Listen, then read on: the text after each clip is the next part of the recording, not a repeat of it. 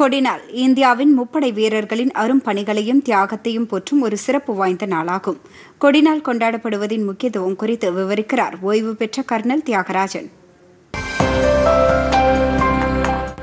ஒரு தேசத்தின் காவல் அரணே ராணுவ வீரர்கள்தான்.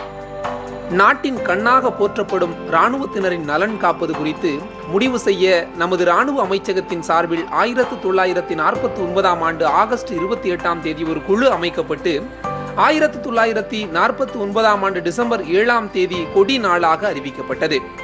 இக்கொடி நாள் ஆயிரத்தி தொள்ளாயிரத்தி நாற்பத்தி ஒன்பதாம் ஆண்டு டிசம்பர் ஏழாம் நாள் முதல் இந்தியா முழுமைக்கும் கொண்டாடப்பட்டு வருகிறது. மற்ற நாட்டுடன் போரில் ஈடுபடும் இராணுவத்தினருக்கும் காயம் ஏற்பட்டால் அவர்களுக்கு உதவுதல் போரில் உயிரிழந்தால் அவர்களின் குடும்பத்தினருக்கு உதவுதல் ஓய்வு பெற்ற முன்னாள் இராணுவத்தினருக்கு உதவுதல் ஆகிய மூன்று நோக்கங்களை கொண்டு கொடிநாள் ஏற்படுத்தலாம் என்று முடிவு செய்யப்பட்டு பின்பற்றப்பட்டு வருகிறது. நாட்டின் உண்மையான கதாநாயகர்களான பாதுகாப்பு படை வீரர்களின் தியாகங்களை இந்த கொடி நாளில் அனைவரும் போற்றி வருகின்றனர். பனி முகடுகள் உள்ள இமயமலையின் எல்லைகளையும் அடர்ந்த காடுகள் நிறைந்த வடகிழக்கு எல்லைப் பகுதிகளையும் பரந்த சமவெளியான வடமேற்கு எல்லைப் பகுதிகளையும் நீண்ட நெடிய கடல் பகுதிகளையும் காவல் காத்து தாய் திருநாட்டிற்காக தனது உயிரை தியாகம் செய்த முப்படை வீரர்களின் குடும்ப நலன்களையும் ஓய்வு பெற்ற முன்னாள் படை வீரர்களின் நலன்களையும் பேணி காத்திடுவது நமது சமூக கடமையாகும். நமக்காக எல்லையில் பல இன்னல்களை சந்தித்து தேசம் காக்கும் ராணுவ வீரர்களை நம் மனதில் நிறுத்துவோம். ராணுவ வீரர்கள் அவர்களே நம் கதாநாயகர்கள். டிசம்பர் ஏழு ஆயிரத்தி தொள்ளாயிரத்தி நாற்பத்தி ஒன்பது முதல் நம் நாட்டில் ஒவ்வொரு ஆண்டும் கொடிநாளை கொண்டாடி வருகின்றோம். இந்த கொடிநாளன்று நாம் நமது இராணுவ வீரர்களுக்காக நன்றியை செலுத்தும் ஒரு புனித நாளாக அமைகின்றது.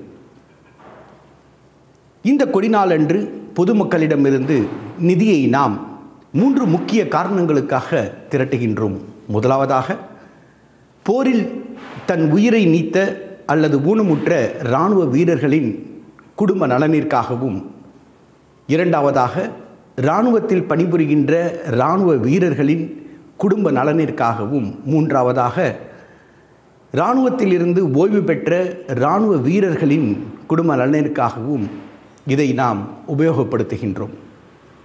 நாம் நமது குடும்பத்துடன் அமைதியாகவும் ஆனந்தமாகவும் வாழ்ந்து கொண்டு இருக்கின்றோம் என்றால் அது நமது நாட்டை எல்லையில் பாதுகாக்கும் இராணுவ வீரர்களின் மிகப்பெரிய தியாகத்தால் தான் என்று கூறினால் அது மிக மிகையாகாது.